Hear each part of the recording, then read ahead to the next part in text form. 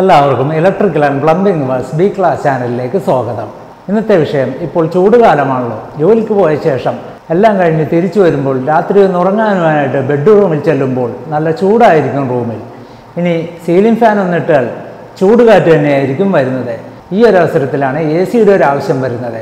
പക്ഷേ A C ഇല്ലാതെ നിങ്ങളുടെ റൂം എങ്ങനെ തണുപ്പിക്കാമെന്നതിനെക്കുറിച്ചുള്ള ഒരു വീഡിയോയുമായിട്ടാണ് ഞാനിവിടെ വന്നിരിക്കുന്നത്. എല്ലാവരും അവസാനം വരെ കാണുക. നിങ്ങൾക്ക് ഈ വീഡിയോ ഇഷ്ടമായാൽ ലൈക്ക് ചെയ്യുകയും ഈ വീഡിയോ മറ്റുള്ളവർക്ക് കൂടി ഉപകാരപ്രദമാവുമെങ്കിൽ അവർ കൂടി അയച്ചു കൊടുക്കുവാൻ താല്പര്യപ്പെടുന്നു ഇനിയും നിങ്ങൾ ഈ ചാനൽ സബ്സ്ക്രൈബ് ചെയ്യാൻ മറന്നുപോയിട്ടുണ്ടെങ്കിൽ താഴെയുള്ള സബ്സ്ക്രൈബ് ബട്ടണും ബെല്ലൈക്കനൊക്കെ പ്രസ് ചെയ്യണമെന്ന് അഭ്യർത്ഥിക്കുന്നു. പൊതുവെ റൂം നമുക്ക് തണുപ്പിക്കുന്നതിന് വേണ്ടി ഏറ്റവും നല്ലൊരു മാർഗമാണ് ഇപ്പോൾ എ സി ഫിറ്റ് ചെയ്യുന്നത്. ഇപ്പോൾ എ സിയുടെ ഒരു കാലമാണ്. എന്നാൽ എ സിക്ക് വളരെയധികം വിലയും കൊടുക്കേണ്ടി വരും. മാസം തോറും നല്ലൊരു കറണ്ട് ബില്ലും ആവും. അപ്പോൾ എ സി ഫിറ്റ് ചെയ്ത് കഴിഞ്ഞ് കഴിഞ്ഞാൽ നമ്മൾക്ക് നല്ലൊരു തുക തന്നെ ചിലവാക്കേണ്ടി വരും. വെറും ആയിരം രൂപ മുതൽ ആയിരത്തി അഞ്ഞൂറ് രൂപ വരെ വില വരുന്ന ഒരു ഹെവി ഡ്യൂട്ടി എക്സോസ്റ്റ് ഫാൻ മാത്രം മതി നിങ്ങളുടെ റൂം തണുപ്പിക്കുവാൻ. ഇത് മറ്റുള്ളവരിൽ നിന്നും വ്യത്യസ്തമായിട്ടുള്ള ഒരു കാഴ്ചപ്പാടാണ്. സാധാരണ എല്ലാവരും പുറത്തു നിന്നുള്ള തണുത്ത കാറ്റ് അകത്തോട്ട് മാത്രം വിടുന്ന ഒരു സിസ്റ്റമാണ് കാണിക്കുന്നത്. എന്നാൽ ഞാനിവിടെ പുറത്തു നിന്നും അകത്തു നിന്നും രണ്ട് സ്ഥലത്തും കൂടി വർക്ക് ചെയ്യുന്ന ഒരു എക്സോസ് ഫാനിന്റെ കാര്യമാണ് പറയുന്നത്. സാധാരണയായി നമുക്ക് റൂമിനകത്തോട്ട് കയറി ചെല്ലുമ്പോൾ ഉള്ളിൽ നല്ല ചൂടായിരിക്കും.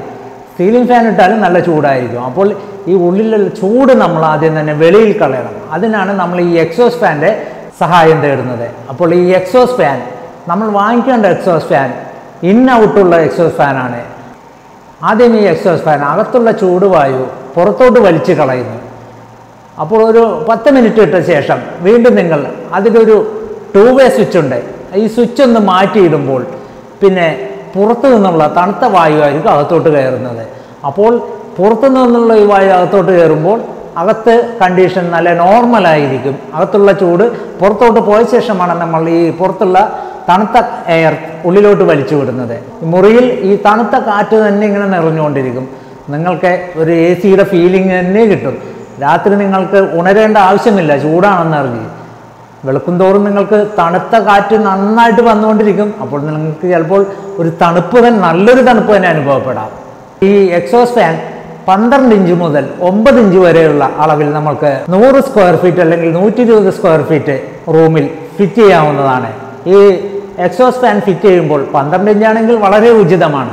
അത് ഹെവി ഡ്യൂട്ടി ആൽമനാട് എന്ന് പറഞ്ഞ കമ്പനിയാണെങ്കിൽ നല്ല സൈലന്റ് ആയിട്ടുള്ള വർക്കിംഗ് ആണ് ഹൈ സ്പീഡുമാണ് അത് റൂമിന്റെ സീലിങ്ങിന്റെ അടിയിൽ വരുന്ന ഭാഗത്ത് ഹോൾ ഉണ്ടാക്കി അവിടെ ഫിറ്റ് ചെയ്യുന്നതാണ് ഏറ്റവും നല്ലത്. ഇനി നിങ്ങൾക്കിത് വേണമെങ്കിൽ ജനലിലും ഫിറ്റ് ചെയ്ത് വെക്കാം. സീലിങ്ങിന്റെ അടിയിൽ പിടിപ്പിക്കുമ്പോൾ നമ്മൾക്ക് ചൂടുള്ള വായു ഈ സീലിങ്ങിന്റെ തൊട്ടടിയിലാണ് ഈ ചൂടുള്ള വായു തെങ്ങി നിറഞ്ഞു നിൽക്കുന്നത്. എക്സോസ് ഫാൻ ഒരു ടൂ വേ സിസ്റ്റം വഴിയാണ് വർക്ക് ചെയ്യുന്നത്. ഒരു മെയിൻ ആയിട്ടുള്ള സ്വിച്ച് ഓൺ ചെയ്യുക. അതിനുശേഷം ഈ ടൂ വേ സ്വിച്ച് താഴ്ത്തോട്ടുള്ള പൊസിഷനിലോ മുകളിലോട്ടുള്ള പൊസിഷനിലോ ഏത് പൊസിഷനിലോട്ട് അങ്ങോട്ട് ഇങ്ങോട്ട് മാറ്റുമ്പോൾ ഈ ഫാനിന്റെ റൊട്ടേഷൻ മാറുന്നു. ഇനി ഇതെങ്ങനെയാണ് വർക്ക് ചെയ്യുന്നതെന്ന് നോക്കാം. നിങ്ങൾ ഈ കാണുന്നതാണ് പന്ത്രണ്ട് ഇഞ്ച് ഇൻ ഔട്ടുള്ള ഒരു ഹെവി ഡ്യൂട്ടി എക്സോസ്റ്റ് ഫാൻ ഈ എക്സോസ് ഫാൻ കാണുന്നതിന് ഭംഗിക്ക് വേണ്ടി തിരിച്ചു പിടിപ്പിച്ചിരിക്കുകയാണ്. അപ്പോൾ നമുക്ക് ഇതിന്റെ ഫ്രണ്ട് വശമേ കാണുന്നുള്ളൂ. സാധാരണ ഇതിന്റെ ബാക്ക് വശമാണ് നമ്മൾ ഫ്രണ്ടിലായി കാണുന്നത്. അപ്പോൾ ആ മുഴച്ചിരിക്കുന്ന വശം കാണാതിരിക്കാനായിട്ട് നേരെ വെളിയിലോട്ടാക്കിയാണ് പിടിപ്പിച്ചിരിക്കുന്നത്. അപ്പോൾ ഫ്രണ്ട് പാനൽ മാത്രമേ കാണുള്ളൂ. അപ്പോൾ കാണാനായിട്ടൊരു ഫ്ലഷ് ആയിട്ടിരിക്കും. എക്സോസ് ഫാനിലെ ഫേസ് ന്യൂട്രൽ കണക്ഷൻ കൊടുത്തിട്ടുള്ളത് ബാക്ക് സൈഡിലായതുകൊണ്ട് നമുക്കതിന്റെ കണക്ഷൻ ഇവിടെ കാണാൻ പറ്റില്ല. പക്ഷേ ഇവിടെ നിന്നും തന്നെ ഒരു ത്രീ കോർ വയർ പുറത്തോട്ട് വന്നിട്ടുണ്ട്. അതിലൊരു six amps two way switch പിടിപ്പിച്ചിട്ടുണ്ട്.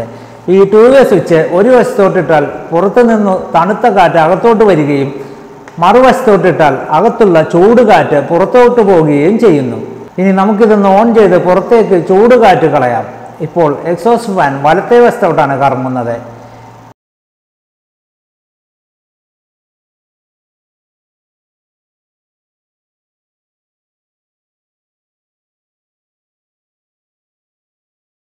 ഇനി ഇത് ഓൺ ചെയ്ത് പുറത്തു നിന്നുള്ള തണുത്ത കാറ്റ് അകത്തോട്ട് കടത്തിവിടാം. ഇപ്പോൾ എക്സോസ് ഫാൻ ഇടതേ വശത്താണ് കറങ്ങുന്നത്. ഇനി എക്സോസ് ഫാന്റെ എയർ ഫ്ലോ അറിയുവാനായിട്ട് ഞാൻ എക്സോസ് ഫാന്റെ മുമ്പിൽ ഒരു ടവൽ സീലിംഗിൽ ഒട്ടിച്ചു വെച്ചിട്ടുണ്ട്. എക്സോസ് ഫാൻ ഔട്ട് പൊസിഷനിൽ ഇടുമ്പോൾ ടവൽ എക്സ്പോസൻ അടുത്തേക്ക് പോകുന്നതായി കാണാം. ഇനി എക്സോസ് ഫാന്റെ പൊസിഷൻ മാറ്റിയിടുമ്പോൾ ടവൽ എക്സോസ് ഫാന്റെ മുൻവശത്തോട്ട് പറക്കുന്നത് കാണാം.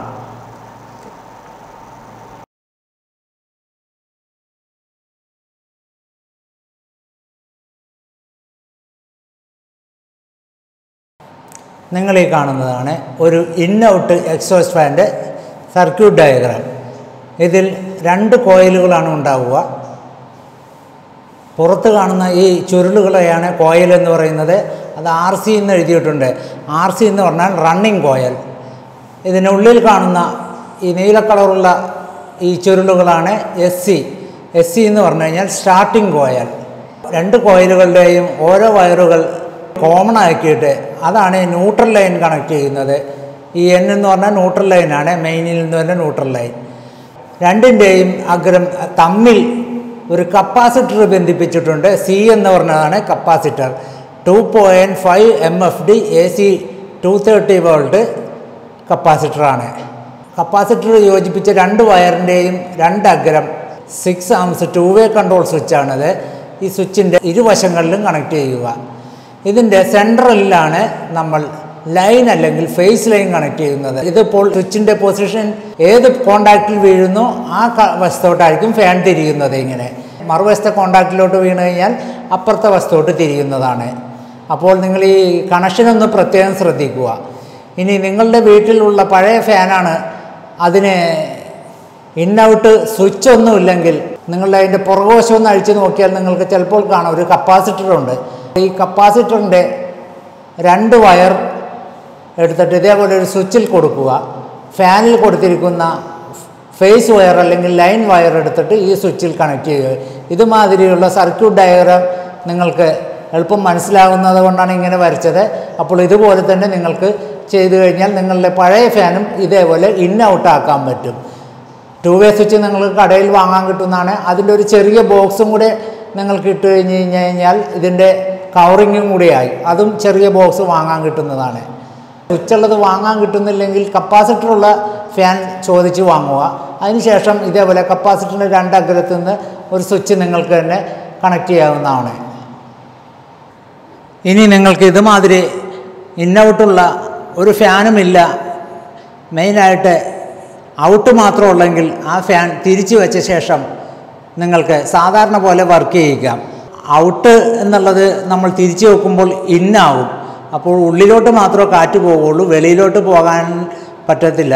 അപ്പോൾ അങ്ങനെയും നിങ്ങൾക്ക് ഫിറ്റ് ചെയ്യാം. നമുക്ക് ചൂടുള്ള വായു പുറത്തോട്ട് തള്ളാൻ നമുക്ക് ഇത്തിരി പ്രയാസമാണ്. പുറത്തുനിന്നുള്ള വായു മാത്രമേ തണുത്ത വായു മാത്രമേ അകത്തോട്ട് കയറ്റാൻ പറ്റുള്ളൂ. ഉള്ളിലുള്ള ചൂടുള്ള വായുവും തണുത്ത വായുവും തമ്മിൽ കുറച്ച് നേരം ഒരു കഞ്ചങ്ഷൻ പോലെ ഇങ്ങനെ തിങ്ങി കുറച്ചധികം നേരം കഴിഞ്ഞിട്ടേ അതൊന്ന് തണുക്കുകയുള്ളൂ.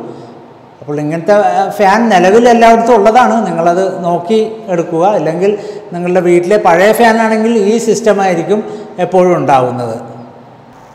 ഇങ്ങനെയാണ് അകത്തുള്ള ചൂട് വായു പുറത്തോട്ട് കളയുന്നതും വെളിയിലുള്ള തണുത്ത കാറ്റ് അകത്തോട്ട് കയറ്റിവിടുന്ന മെത്തേഡ് ഇത്രയും നേരം ഈ വീഡിയോ കണ്ടിരുന്ന എല്ലാവർക്കും എന്നെ സബ്സ്ക്രൈബ് ചെയ്ത് സപ്പോർട്ട് ചെയ്യുന്ന എല്ലാവർക്കും എന്റെ നന്ദി. ഇനി ഞാൻ നല്ലൊരു വീഡിയോയുമായി നിങ്ങളുടെ മുന്നിലേക്ക് വരുന്നതുവരെ എല്ലാവർക്കും ബൈ ബൈ